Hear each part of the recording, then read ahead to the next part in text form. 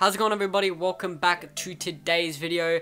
In this one, I'm going to be talking to you guys about how to rank up fast in Black Ops 4. After doing a little bit of research and obviously playing the game myself, I think I've gathered enough information on how XP in this game works and the best methods to gaining XP and obviously to getting to those prestiges that we all want to get to. Now obviously there's nothing special that like Korean Savage or Dismo or anyone that's really prestiged over the last few days. There's nothing special about what they've been doing. They've just been playing a lot, but if you're someone that can't play heaps, um, this video is just for you because I'm going to be giving you guys a few tips on just how to increase the XP that you get um, and obviously rank up levels super quickly. With that being said, let's get right into the first and one of the most important things that you guys need to do to get a lot of XP and that is game modes. You need to choose the game modes that you play wisely.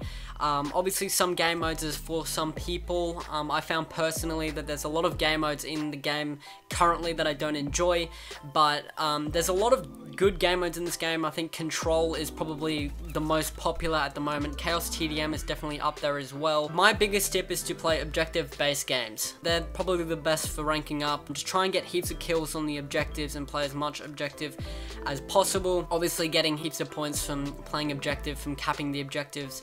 You know, domination is perfect for that. When you get a kill on the objective, I think you get like, definitely get a bonus, which is very, very good. Hard points also really good. Controlled is good. And just all the objective based game modes are just very, very, very good for gaining XP. So the playlist I reckon you guys should be playing is probably either Capture Mosh Pit, which includes Controlled, Domination, and Hardpoint, or Chaos TDM, which is 6v6, TDM, and 6v6 kill confirm. The next tip that I have for you guys is play in a party with some friends to win games because winning games um, it's happened previously. It's also still a thing in Black Ops 4 you get a certain amount of match bonus after every single game. If you win a game that match bonus doubles. So you want to be winning as many games as possible and playing solo isn't really the best. And on the other hand playing in a 5 or 6 man will not be beneficial either because you won't be getting kills and the games will tend to go a lot quicker my advice is just to play with one or two of your friends maximum 3 man I reckon, so you guys can still get a good amount of kills and sort of carry your team, if that makes sense. Not in a cocky way, but just like help your team, because like, I'll admit some people in this game are either really good or really bad, and if you don't have the best teammates on your team, um, and you've got a good two-man, three-man, you guys should be all good. It's just a lot better than playing solo and not always guaranteeing that win. A lot of XP that you guys get is based on the medals that you get, so try and play as aggressively as possible to get a bunch of kills. Um, that's probably one of the most important things is getting kills in this game is very, very important because you get a headshot, you get a certain amount of XP. You get a Kingslayer medal, you get a certain amount of XP. These are very important and this is obviously where most of the XP comes from. So if you guys are getting heaps of kills games, um, you, you obviously should be able to stack up that XP. Try and get gun camos. I've already got gold on two weapons and the process up to it gives you a lot of XP. XP, as you guys can see on your screen right now. Here is all the XP that you actually get in the lead up to getting gold, and then I, I end up showing you guys diamond and dark matter. I don't know the exact amount of total XP that you get, but obviously the smallest amounts will help because some of the early levels, you know, like one of those camos might be a quarter of the level. This doesn't mean that you spend all day trying to get a gun gold. Just maybe get one or two within the first prestige to just sort of get your flow going, get that XP, um, and it also speed up the process in getting dark matter in the long long term. The next step is a bit of a unique one, and that is to prestige your weapons. Now, personally, I haven't been a fan of prestiging weapons. I know a lot of people that aren't a fan of prestiging your weapons, but I do know that prestiging your weapons is very, very beneficial because obviously every time you level up your weapon, you get a certain amount of XP. It may not be a lot of XP, but you still do get XP, and it does help. This one's really up to you guys. Obviously, you can do two prestiges. Uh, you get the, I think, the clan tag on your gun, and then you get your amount of kills on the gun. I think it should be the same as Black Ops 3. But yeah, that's just one thing that you guys could do. The next thing is very unusual, way more unusual than prestiging your weapons, and that is use your rocket launchers now. This will make the process of unlocking dark matter a lot easier. You won't have to cram it in. You won't have to hope that people absolutely destroy so they get streaks.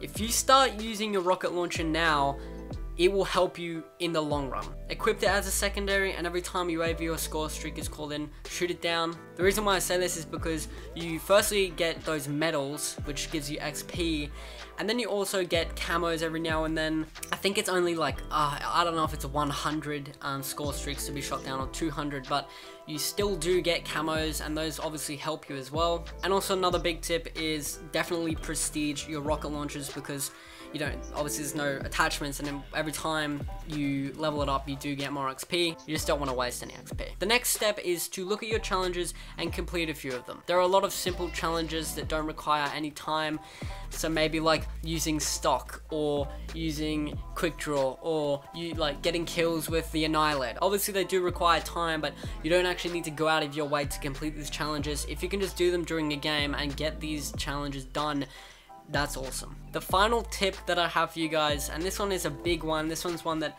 many people don't actually think about, and that is use good specialists that actually help the team, not only you. Some examples include the Seraph with the tac deploy that it has. You get, I think, 25 points for every time someone spawns on your tac deploy. With Recon, um, the Vision Pulse, every time you Vision Pulse someone, uh, or the opposite team in general, you get heaps of points from that. The sensor dart as well um, gives advantages to the team, and I believe every time someone kills someone inside that sensor dart like radius, you get the you actually get an amount of points as well. In my opinion, the best specialist to use for leveling up would be Crash. The Assault Pack gives your teammates ammo, and every time they get a kill, they actually get increased points. Those points also go to you. And the Tak-5 as well, which gives them an extra 50 health, which is unbelievable. That's a lot of people underestimate it, but um, every time they get a kill, you'll get a certain amount as well. As I said before, a lot of this may be little amounts of XP, but in the long term, trust me, it will help. Anyway, guys, that's the end of today's video. I hope this helps you guys out. If you guys got any tips, put them in the description down below. I hope you guys did enjoy. If you did, smash that like button, subscribe, turn on post notifications to get notified every time I go live and upload, and I'll see you in the next video. Peace.